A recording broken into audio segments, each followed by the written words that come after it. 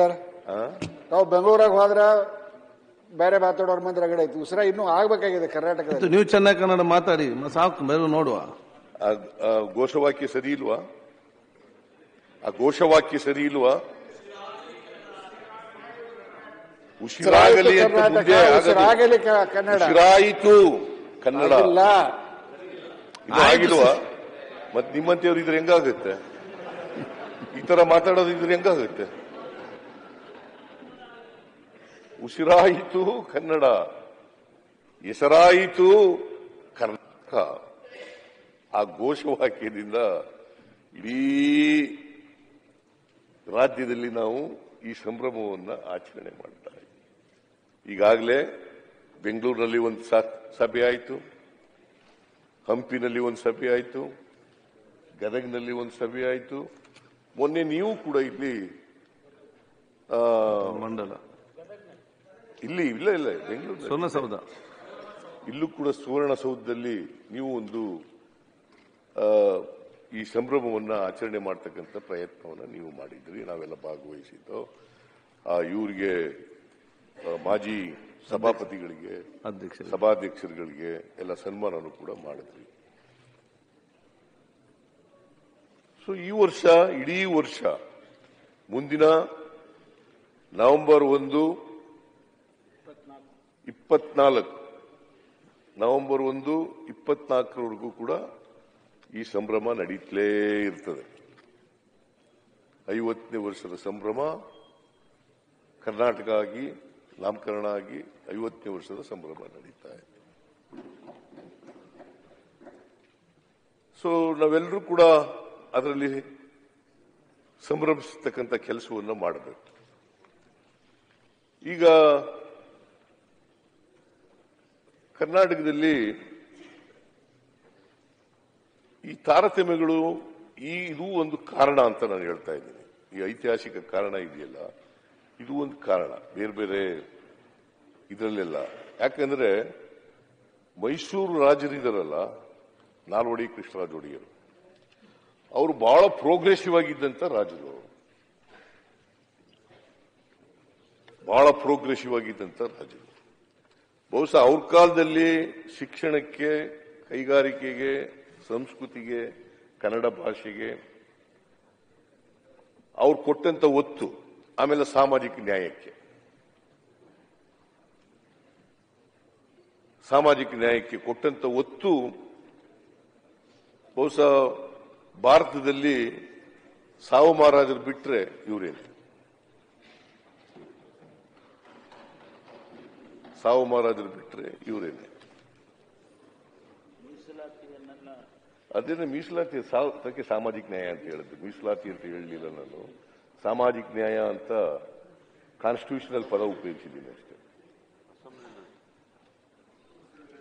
Social justice Miller commission ಮಾಡಿ ಅದನ್ನು ಜಾರಿ ಕೊಟ್ಟರು ಅದರಲ್ಲಿ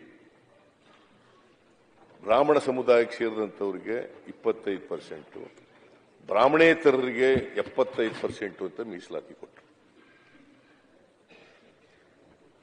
ಅದು ಸಾವಿರದ ಒಂಬೈನೂರ ಇಪ್ಪತ್ತೊಂದನೇ ಇಸ್ವಿ. Nineteen twenty one. ಅದಾದ್ಮೇಲೆ ಬೇರೆ ಕಮಿಷನ್ಗಳೆಲ್ಲ ಆದೋ ರಿಸರ್ವೇಶನ್ ಬಗ್ಗೆ ಸಂವಿಧಾನ ಬಂದ ಮೇಲೆ ಬೇರೆ ಬೇರೆ ಕಮಿಷನ್ಗಳೆಲ್ಲ ಇದೆಲ್ಲ ಆಯ್ತು. ನಾ ಯಾಕೆ ಹೇಳ್ತಾ ಇದ್ದೀನಿ ಅಂತಂದ್ರೆ ನಾಲ್ವಡಿ ಕೃಷ್ಣರಾಜ ಒಡೆಯರನ್ನ ಸ್ಮರಿಸ್ಕೊತಾ ಇದ್ದೀನಿ ಅಂದ್ರೆ ಅವರು ಆ ಕಾಲದಲ್ಲೇ ಕೈಗಾರಿಕೆಗಳ ಬೆಳವಣಿಗೆಗೆ, ಕೃಷಿಗೆ, ನೀರಾವರಿಗೆ, ಸಾಮಾಜಿಕ ನ್ಯಾಯಕ್ಕೆ, ಮೀಸಲಾತಿಗೆ ಎಲ್ರಿಗೂ ಅವಕಾಶಗಳು ಸಿಕ್ಕಬೇಕು ಅಂತೇಳಿ ಮಾಡದಂಥವ್ರು, ಎಲ್ರಿಗೂ ಶಿಕ್ಷಣ ಸಿಗಬೇಕು ಅಂತೇಳಿ ಮಾಡದಂಥವ್ರು ಶಿಕ್ಷಣಕ್ಕೆ ಒತ್ತು ಕೊಟ್ಟವರು. ಮೈಸೂರು ವಿಶ್ವವಿದ್ಯಾನಿಲಯ ಅವ್ರ ಕಾಲದಲ್ಲಿ ಆದದ್ದು. ನೀವು ಆಮೇಲೆ ಬಂದ್ರಿ ನೀವು. ಸೊ ಅದರಿಂದ ಮಾನ್ಯ ಅಧ್ಯಕ್ಷರೇ, ಇದು ಸ್ವಲ್ಪ ಕಾರಣ ಇರಬಹುದು ಅಂತ ಅನ್ಕೊಂಡಿದ್ದೀನಿ ಯಾಕಂದ್ರೆ ಮುಂಬೈ, ಕರ್ನಾಟಕದಿಂದ ಬಂದರು, ಹೈದರಾಬಾದ್, ಕರ್ನಾಟಕದಿಂದ ಬಂದರು, ತಮಿಳುನಾಡಿನಿಂದ ಬಂದರು, ಕೊಡಗು ಬೇರೆ ರಾಜ್ಯ ಆಗಿತ್ತು, ಅವ್ರು ಬಂದರು. ಇವೆಲ್ಲ ಕಾರಣಗಳಿಂದ ತಾರತಮ್ಯಗಳು ಇದ್ದೇ ಇರ್ತವೆ ಅಭಿವೃದ್ಧಿನಲ್ಲಿ. ನಾನು ಯಾವ ಸರ್ಕಾರನೂ ಕೂಡ ದೂಷಣೆ ಮಾಡಕ್ ಹೋಗಲ್ಲ. ಎಲ್ಲ ಸರ್ಕಾರಗಳು ಕೂಡ ಸ್ವಲ್ಪ ಹೆಚ್ಚು ಕಡಿಮೆ ಆಗಿರ್ಬೋದು. ಪ್ರಯತ್ನ ಅಂತೂ ಮಾಡಿದವೆ. ಈಗ ಈ ಡ್ಯಾಮ್ಗಳೆಲ್ಲ ಆದವು. ಮಲಪ್ರಭಾ, ಘಟಪ್ರಭಾ, ಹೇಮಾವತಿ, ಆಲ್ಮಟ್ಟಿ, ಇವೆಲ್ಲ ಡ್ಯಾಮ್ಗಳು ಮಿಸ್ಟರ್ ಅಶೋಕ್ ಯಾರ್ ಯಾವ ಕಾಲದಲ್ಲಿ ಆದ್ದು? ಬಿಜೆಪಿ ಕಾಲದಲ್ಲ? ಕಾಂಗ್ರೆಸ್ ಕಾಲದಲ್ಲಿ ಆದದ್ದು ಇವೆಲ್ಲ.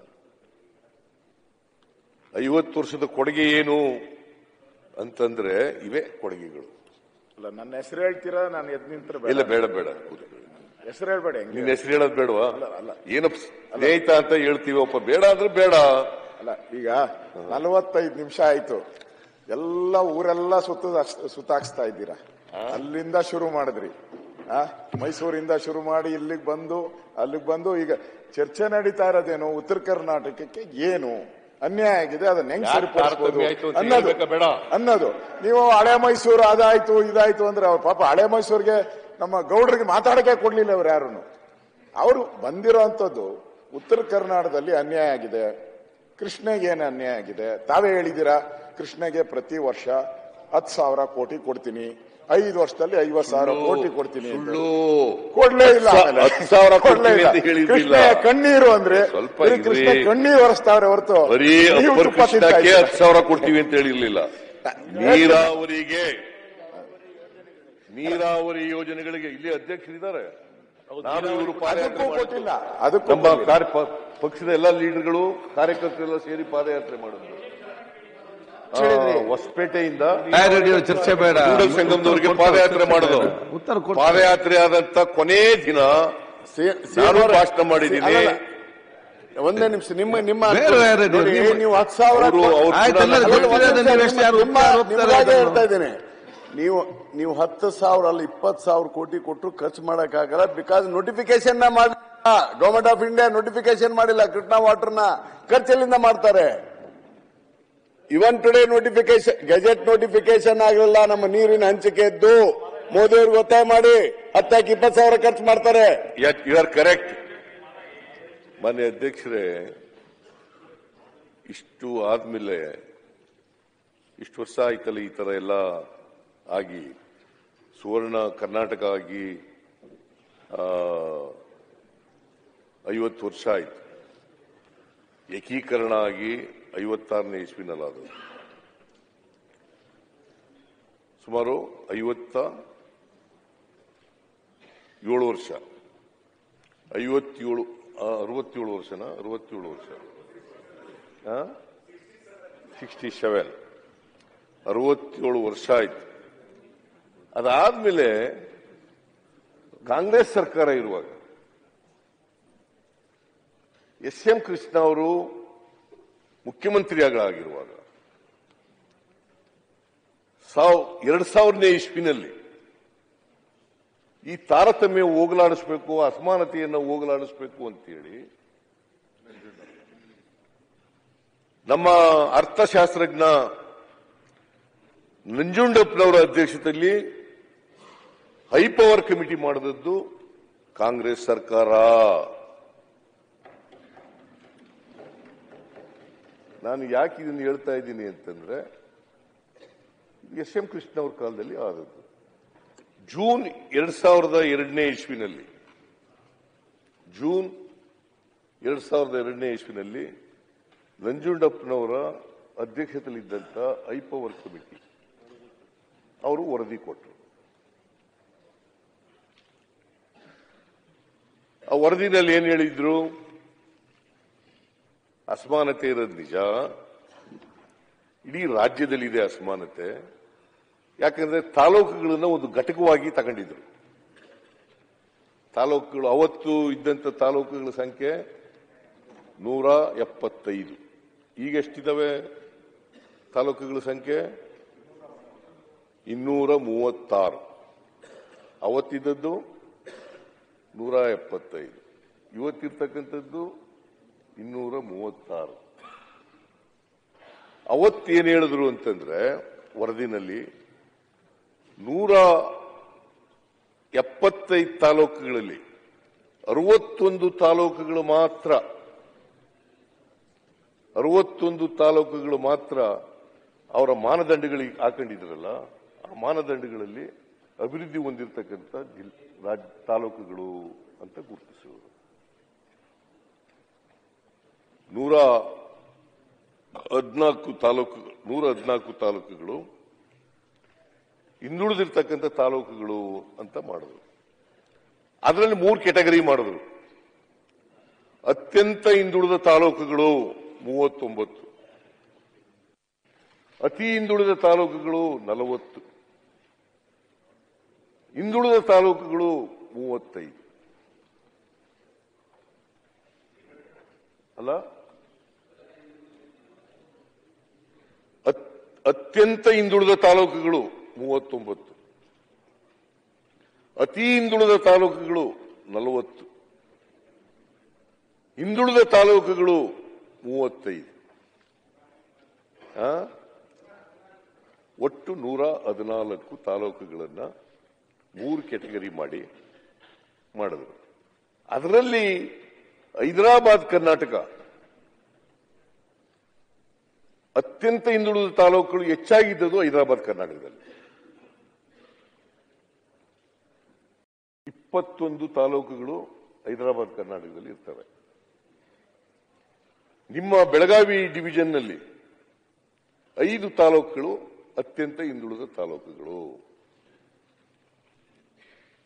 ಸೊ, ಒಟ್ಟು ಇಪ್ಪತ್ತಾರು ತಾಲೂಕುಗಳು ಉತ್ತರ ಕರ್ನಾಟಕ ಭಾಗದಲ್ಲಿ ಇರ್ತವೆ. ಅತ್ಯಂತ ಹಿಂದುಳಿದ ತಾಲೂಕುಗಳು. ಆದರೆ, ಬೆಂಗಳೂರು ಡಿವಿಷನ್ನಲ್ಲಿ ಹನ್ನೊಂದು ಅತ್ಯಂತ ಹಿಂದುಳಿದ ತಾಲೂಕುಗಳಿರ್ತವೆ.